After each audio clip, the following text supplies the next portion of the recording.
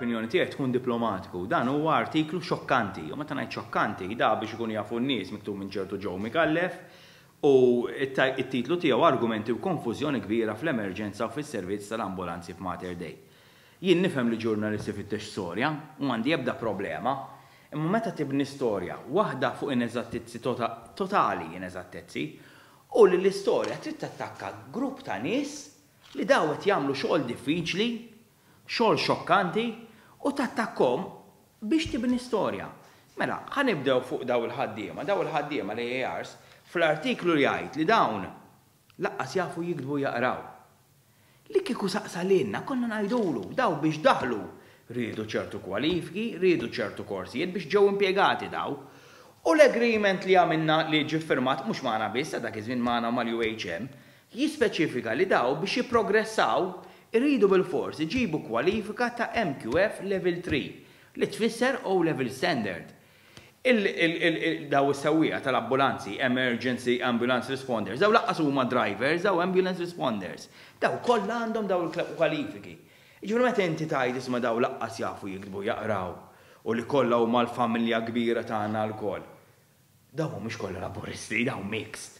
Għandek nies Laburisti, nies Nazzjonalisti, però tgħaqqadhom ħaġa waħda, l-imħabba li għandhom lejn xogħolhom.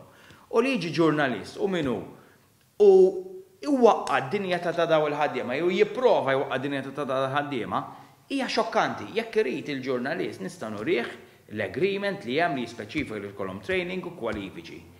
Jgħid ukoll li aħna għandna xi direttivi bħala General Workers Union Għax dawn il-ħaddiema ma jridux il-bidla.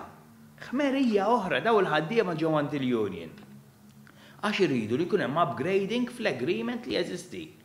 U l-upgrading li jridu, iridu taħriġ aktar, iridu jitgħallmu aktar u jridu jkollhom karriera f'dan il-għad.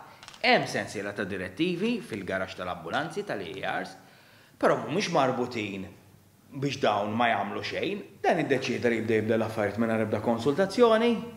Waħda mill-affarijiet li qed tweġġagħna, pereżempju, li dawn l-EAR drivers li huma nies speċjalisti irid iġi jridu jġibuhom drivers normali jittrasportjaw il-pazjent jekk pazjent ħiereġ minn l-isptar għax ħareġ mill-ward jibgħatu u waslu ħishom taxi U dawn mhumiex taxi drivers, dawn huma emergency ambulance responders.